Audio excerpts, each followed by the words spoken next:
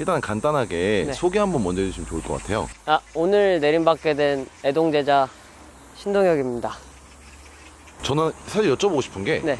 어쩌다가 이제 이 길을 가게 되셨는지 간략하게 아. 혹시 좀 23살 때 이제 사람들 보면은 말이 계속 터져 나와서 이제 저는 기독교였는데 이제 귀신도 너무 더 잘 보이고 저한테 귀신이 너무 많이 붙어 있어 붙어 있다는 생각이 들어서 그래서 혹시나 해서 이렇게 점을 봤는데 이제 다 가야 된다고 했고 저도 보이는 것도 보이는 거고 듣는 것도 듣는 거고 또 느끼는 게 있어가지고 가게 됐습니다. 아, 그러면 사실은 어 저도 뭐 물론 공감은 못하지만은 네. 마음 먹기까지 쉽지 않으셨을 것 같아요. 근데 어? 어쩌다가 이 손아정 선생님이랑 인연이 되셨는지 한번 여쭤봐도 될까요? 엄청 오래 걸렸어요. 엄청 오래 걸리고 제가 종교가 원래 기독교다 보니까 주, 변에서 반대도 어머니가 반대를 너무 했었고 그냥 계속 확인받고 싶었다가 확인은 다 받았는데 그날따라 이제 한 번 더 가야 된다는 생각이 들어서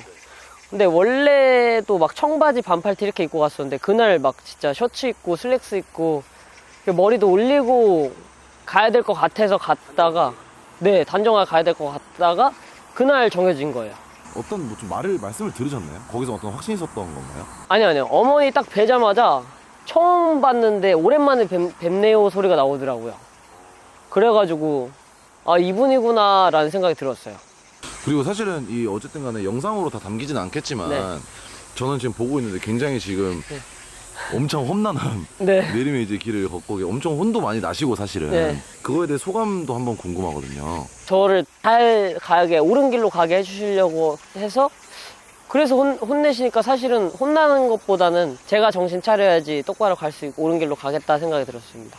그럼 마지막으로 네. 어 어쨌든 간이 영상을 보시는 시청자분들도 계실 텐데 네. 어 사실은 뭐 너무 뻔한 대답은 듣고 싶지 않습니다. 네. 올바른 뭐 제자로 가겠다 이런 뻔한 이런 건 굉장히 뻔한 답인 것 같고요. 네. 앞으로 이제 이 무속일을 갈때 마음가짐 한번 여쭤보고 싶습니다. 아, 최고가 되겠다는 마음가짐으로 가겠습니다.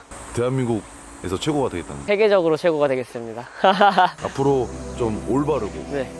그리고 좀 정직한 네. 무속인이 되시, 되시길 약속해 주실 거죠. 아 당연합니다. 오늘도 감사합니다, 선생님. 네 감사합니다.